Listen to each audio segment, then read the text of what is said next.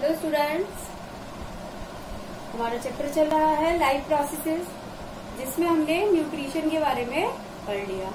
Nutrition हमारा दो तरह का है ऑटोट्रॉफिक न्यूट्रिशन यानी स्वपोषी पोषण और हेट्रो हेट्रोट्रॉफिक न्यूट्रिशन यानी कि विषम पोषी पोषण। तो हम ये पूरा पढ़ चुके हैं ऑटोट्रॉफिक न्यूट्रिशन के बारे में भी, प्रकाश संश्लेषण के बारे में पढ़ चुके हैं, मनुष्य के पाचन तंत्र के बारे में पढ़ चुके हैं। तो आज हम इस पोर्शन जो पोर्शन है इस चैप्टर का, उसके कुछ क्वेश्चंस हम आज डिस्कस करेंगे।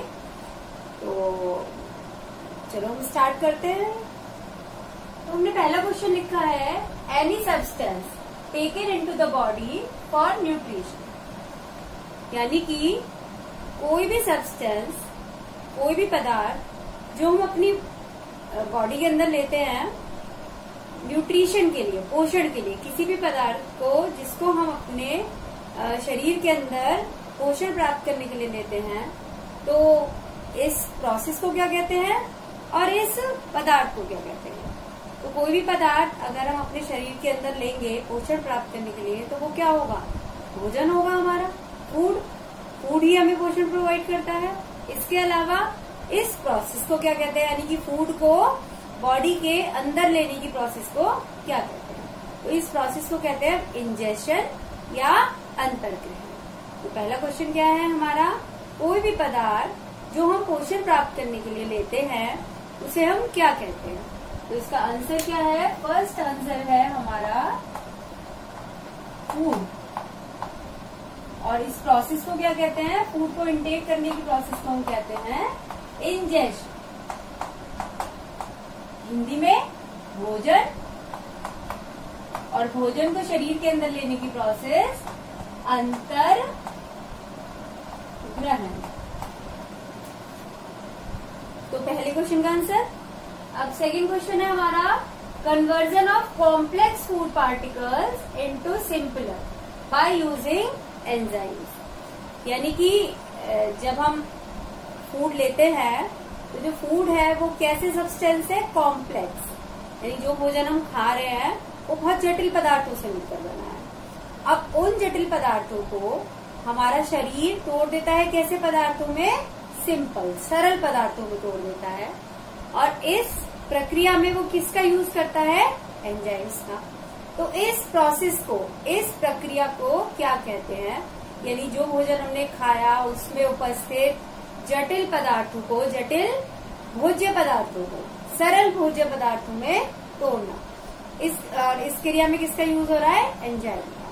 तो इसे क्या कहेंगे हम? इस क्रिया को कहेंगे हम पाचन या डाइजेशन डाइजेशन क्या है? कि जो कॉम्प्लेक्स फ़ूड पार्टिकल्स होते हैं, उनको एंजाइम्स का यूज़ करके सिंपल फ़ूड पार्टिकल्स में ब्रेक डाउन करना, तोड़ना।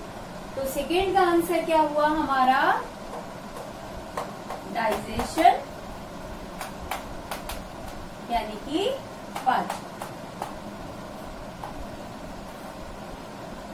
थर्ड क्वेश्चन है एंजाइम्स ऑफ़ पैनक्रियाटिक जूस जो हमारा अग्नाशय रस होता है जो पैनक्रियाज अग्नाशय है, उससे एक जूस निकलता है, रस निकलता है, उसके अंदर एंजाइम्स होते हैं, जो भोजन के पाचन में मदद करते हैं। तो उन एंजाइम्स के हमें नाम बताना तो जो अग्नाशय है, उसके अंदर हमारा जो फ़ूड है, उसके अंदर क्या क्या चीज़ें होती है? कार्बोहाइड्रेट होता है प्रोटीन होता है और फैट्स होते हैं। तो पैनक्रियाटिक जूस के अंदर तीनों को ही डाइजेस्ट करने वाले एंजाइम्स पाए जाते हैं। अब उन एंजाइम्स के नाम क्या क्या है? हमें केवल उनके नाम बताने हैं। तो पहला एंजाइम थर्ड का आंसर है। पहला एंजाइम होता है इसके अंदर एमाइलिन कौन सा एंजाइम है? एमाइलेज एमाइलेज किसका डाइजेशन करता है? कार्बोहाइड्रेट का. जो कार्बोहाइड्रेट है उन्हें तोड़ देता है किसमें? शुगर के अंदर ग्लूकोज के अंदर. दूसरा दूसरा होता है ट्रिप्सिन ट्रिप्सिन एंजाइम प्रोटीन्स को तोड़ देता है अमीनो अम्ल के अंदर. जो प्रोटीन होते हैं, उन्हें अमाइनो एसिड्स के अंदर वो ब्रेक डाउन करते हैं. प्रोटीन क्या है? कॉम्प्लेक्स फ़ूड पार्टिकल है और एमाइनो एसिड सिंपल है, जिसको हमारी बॉडी एब्सॉर्ब कर सकती है। और तीसरा तीसरा है हमारा लाइपेज तीसरा फ़ूड पार्ट तीसरा एंजाइम है लाइपेज और लाइपेज क्या करता है? लाइपेज डाइजेस्ट करता है फैट को और वो फैट को तोड़ देता है फैटी एसिड्स में और ग्लीसरॉल में, बसीय अम्लों में और ग्लीसरॉल के अंदर वो तोड़ देता है वसा को। तो तीन एंजाइम होते हैं। ट्रिप्सिन के साथ काइमोट्रिप्सिन भी होता है। लेकिन हम ट्रिप्सिन भी बताएँगे तो भी ठीक है। तो पैंक्रियाटिक जूस के अंदर एमाइलेस ट्रिप्सिन और लाइपेज तीनों ही एंजाइम पाए जाते हैं, जो कि कार्बोहाइड्रेट प्रोटीन और वसा का पाचन करते हैं।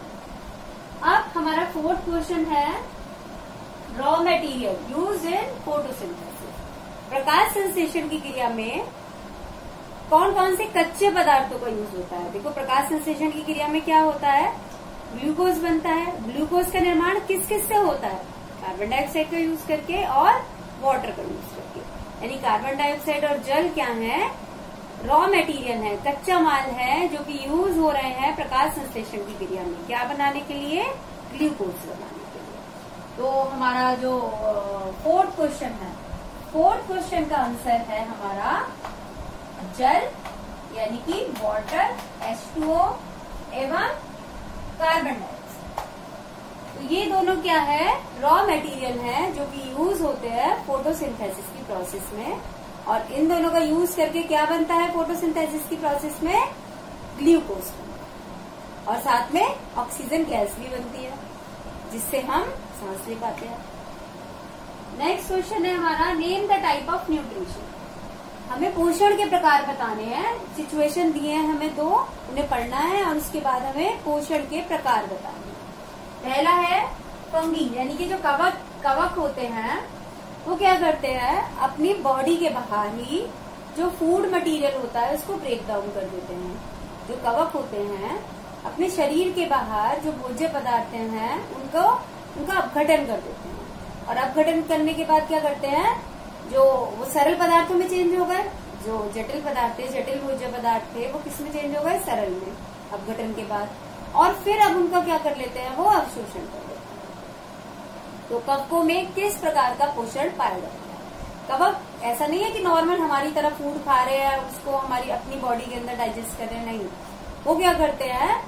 वो अपनी बॉडी के बाहर ही फ़ूड का डाइजेशन कर लेते हैं और फिर डाइजेस्ट हुए फ़ूड को वो एब्सॉर्ब करते हैं। तो इस तरह का जो डाइजेशन है, वो क्या कहलाता है? इस तरह का जो न्यूट्रिशन है, वो क्या कहलाता है? इस टाइप के न्यूट्रिशन को कहते हैं हम सेप्रोट्रॉफिक न्यूट्रिशन यानी कि मृत्योपजीवी पोषण।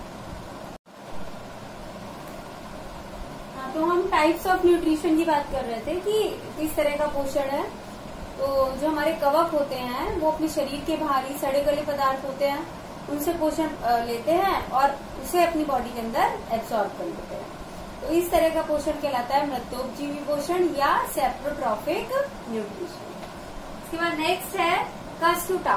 कस्टूटा यानी कि अमरबेल जूम तो ये क्या करती हैं कि आ, किसी भी आ, एनिमल से या प्लांट से अपना न्यूट्रिशन लेती है।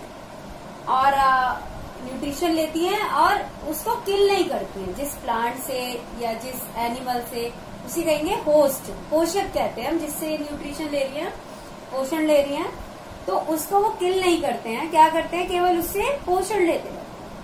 तो ऐसे जो आ, इस टाइप का जो पोषण है इस टाइप का जो न्यूट्रिशन है उसे हम कहते हैं पैरासिटिक मोड ऑफ़ न्यूट्रिशन जिसमें कि जो एनिमल है या प्लांट है, किसी दूसरे एनिमल या प्लांट से डायरेक्ट न्यूट्रिशन ले रहा है। फ़ूड खा के अपनी बॉडी में डाइजेस्ट नहीं कर रहा डायरेक्ट न्यूट्रिशन ले रहा है तो इस टाइप का न्यूट्रिशन पैरासिटिक बना रहा है, जो होस्ट अपने लिए है, लेकिन जो पैरासाइट है, वो भी उसमें से अपना न्यूट्रिशन ले रहा है। तो इस तरह की न्यूट्रिशन को कहते हैं पैरासिटिक या परजीवी पोषण। अब नेक्स्ट क्वेश्चन है हमारा how does amoeba intake food amoeba अपना फ़ूड कैसे लेता है? तो देखो जो अमीबा होता है, ऊपर के क्वेश्चन रब कर देते हैं।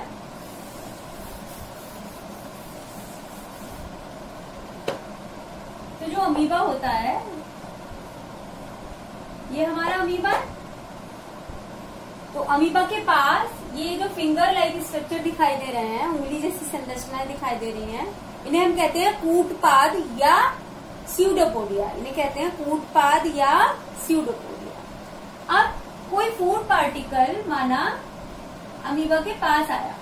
तो फ़ूड पार्टिकल अमीबा के पास आया। तो वो क्या करेगा कि उसके जो सूडोपोडिया है, इनसे इसको अपनी बॉडी के अंदर लेगा। सूडोपोडिया से उसको घेर लेगा और घेरने के बाद उस फ़ूड पार्टिकल को अपनी बॉडी के अंदर ले लेगा। अब ये जो स्ट्रक्चर है, जिसके अंदर ये फ़ूड पार्टिकल है, इसे हम कहते हैं फ़ूड वैक्यूम या खाद्य धानु। इसे कहते हैं खाद्य धानु। इसके द्वारा क्या होगा, इस ये जो फ़ूड पार्टिकल है, ये जो भोजन था, इसमें खाद्य धानी के अंदर अमीबा एंजाइम्स की मदद से इसका क्या कर लेगा डाइजेशन कर लेगा। जब ये डाइजेस्ट हो जाएगा तो विसरण के द्वारा ये जो डाइजेस्टेड जो न्यूट्रिशन है, वो सब कहाँ चले जाएँगे? इसके साइटोप्लाज्म में चले जाएँगे कोशिका द्रव्य में। और कोशिका द्रव्य में से जितने भी ऑर्गन जहाँ जहाँ नीड है वहाँ वहाँ ये यूज़ आ जाएगा। उसके बाद जो वेस्ट बचेगा, जो वेस्ट है, वो वेस्ट भी कहाँ पहुँच जाता है? जो उसकी जो कोशिका झिल्ली है, कोशिका कला है यानी सेल मेम्ब्रेन है उसके पास प्लाज्मा मेम्ब्रेन है उसके पास पहुँच जाता है और फिर उसको बॉडी से बाहर कर दिया जाता है। तो इस तरीके से अमीबा किसकी मदद से फ़ूड अंदर लेता है? वो अपने सूडोपोडिया से फ़ूड को घेरता है अपनी बॉडी के अंदर उसको ले लेता है। तो इस प्रोसेस को आ, आ, क्या कहेंगे? इंजेक्शन यानी कि अंतर ग्रहण अब नेक्स्ट क्वेश्चन है हमारा। हाँ। डाइजेस्टिव सीक्रेशन विदाउट एंजाइम यानी कि हमारा जो पाचन तंत्र है, उसमें एक श्राव ऐसा होता है जिसके अंदर कोई भी एंजाइम नहीं पाया जाता, लेकिन वो भोजन के पाचन में मदद करता है। तो ये काम कौन करता है? ये काम करता है पित्त, यानी कि बाइल जिसका श्रावण कौन करता है? लिवर यकृत। तो यकृत श्रावण किसका कर रहा है? पित्त का, बाइल का। तो बाइल के अंदर कोई भी डाइजेस्टिव एंजाइम नहीं पाया जाता है, पाचक एंजाइम नहीं पाया जाता बाइल क्या करता है? बाइल फैट के जो वसा के बड़े बड़े जो मॉलिक्यूल होते हैं, उन्हें छोटे मॉलिक्यूल में तोड़ देता है। यानी जो बड़ी ड्रॉपलेट है, बड़ी बड़े बड़े ये वसा के मॉलिक्यूल है तो इन्हें किसमें तोड़ देगा? छोटे छोटे मॉलिक्यूल रहेगी वो वसा की वसा। अब इस वसा का जो पाचन है, वो इजी हो जाता है, आसान हो जाता है। तो इस प्रोसेस को कहते हैं हम इमल्सीकरण या इमल्सीफिकेशन तो बाइल बिना पाचक एंजाइम के वसा के बड़े मॉलिक्यूल्स यानी कि अणुओं को, छोटे अणुओं के अंदर तोड़ देता है और इस क्रिया को कहते हैं हम इमल्सीकरण तो इस प्रकार ये पाचन में मदद करता है। नेक्स्ट क्वेश्चन है हमारा major events occurring during photosynthesis photosynthesis की क्रिया में कौन कौन सी घटनाएँ होती हैं? तो सबसे पहले क्या होता है? जो सूर्य का प्रकाश है, वो ग्रीन पार्ट्स पे पड़ता है प्लांट्स के और जो क्लोरोफिल है, वो क्या हो जाता है? एक्साइट हो जाता है. तो फोटोसिंथेसिस की प्रोसेस का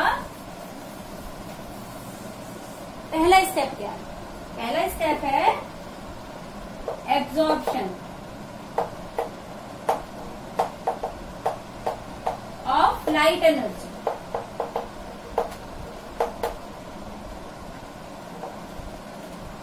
किसके द्वारा? क्लोरोफिल के द्वारा। जो क्लोरोफिल होता है पर्णहरिम होता है, वो लाइट एनर्जी को एब्जॉर्ब करता है और कैसा हो जाता है? एक्साइट हो जाता है, यानी कि उत्तेजित हो जाता है और इस क्रिया में एनर्जी निकलती है। इस क्रिया में एनर्जी निकलती है। पहला स्टेप लाइट एनर्जी का जो प्रकाश ऊर्जा है, उसका पर्णहरिम के द्वारा अवशोषण। सेकेंड स्टेप अब ये जो लाइट एनर्जी है, वो क्या करती है? वाटर के मॉलिक्यूल को तोड़ देती है ऑक्सीजन में और हाइड्रोजन में। सेकेंड स्टेप में इस क्रिया को कहते हैं हम प्रकाश विघटन, प्रकाश अपकटन या फोटोलिसिस इसे कहते हैं हम फोटोलिसिस तो फोटोलिसिस के अंदर क्या होता है? जो वाटर है वो टूट जाता है किसका यूज़ करके? लाइट एनर्जी का। सन रेज यूवी रेज का यूज़ करके टूट जाता है किसके अंदर?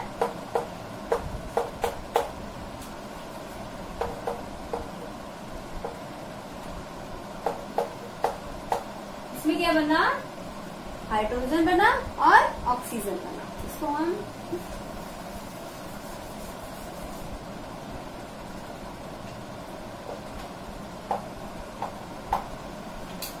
ये हमारी रिएक्शन हुई। तो इसमें क्या बना? प्रोटोन जो हाइड्रोजन है हाइड्रोजन आयन बने। तो इन्हें क्या कहेंगे हम? प्रोटोन कहेंगे। तो वाटर का मॉलिक्यूल टूट गया किसमें? हाइड्रोजन आयन में और ऑक्सीजन तो ऑक्सीजन जो प्रकाश संश्लेषण की क्रिया में ऑक्सीजन निकलती है, वो कहाँ से निकलती है? वाटर के टूटने से निकलती है। अब तीसरा स्टेप क्या है? रिडक्शन रिडक्शन यानी कि अब अपचयन जो कार्बन डाइऑक्साइड है उसका अपचयन हो जाता है किसमें? कार्बोहाइड्रेट में। जो कार्बन डाइऑक्साइड है सीओ टू वो क्या बना देती है? ग्लूकोज बना देती है। तो तीन स्टेप हुए। पहला कि प्रका, प्रकाश ऊर्जा का अवशोषण करके जो पर्णहरिम है वो उत्तेजित हो जाता है और एनर्जी रिलीज़ करता है। यानी कि ऊर्जा बनाता है ऊर्जा का निर्माण करता है। दूसरा जो जल है, जल का प्रकाश अपघटन होता है, जिससे प्रोटॉन बनते हैं और ऑक्सीजन गैस निकलती है। और साथ में क्या होता है, जो प्रकाश ऊर्जा है, वो चेंज हो जाती है किसमें? रासायनिक ऊर्जा के तीसरा स्टेप है हमारा, जो कार्बन डाइऑक्साइड है, उसका अपचयन हो जाता है किसके अंदर? कार्बोहाइड्रेट के अंदर। तो ये तीन स्टेप के अंदर पूरी होती है प्रोसेस प्रकाश अब हमारा लास्ट क्वेश्चन है कि प्रकाश संश्लेषण की क्रिया में जो एनर्जी बनती है, जो एनर्जी चेंज होता है एनर्जी का कन्वर्जन होता है तो कौन सी एनर्जी का कन्वर्जन कौन सी एनर्जी में होता है? तो प्रकाश संश्लेषण की क्रिया में कहाँ से स्टार्ट हो रही है वो? लाइट एनर्जी से शुरू हो रही है। और लाइट एनर्जी किसके अंदर चेंज हो रही है? केमिकल एनर्जी में चेंज हो रही है। तो प्रकाश संश्लेषण की क्रिया में लाइट एनर्जी चेंज हो जाती है केमिकल एनर्जी तो इस तरीके से आज हमने इस वर्कशीट से जो न्यूट्रिशन है, उसको पूरा कवर कर लिया है मोस्ट ऑफ़ द क्वेश्चन जो वन मार्क्स या टू मार्क्स में पूछे जाते हैं, अब डाइजेस्टिव सिस्टम तो आप लोग अपने आप बना ही लेंगे। वो हम आपको समझा ही चुके हैं पहले।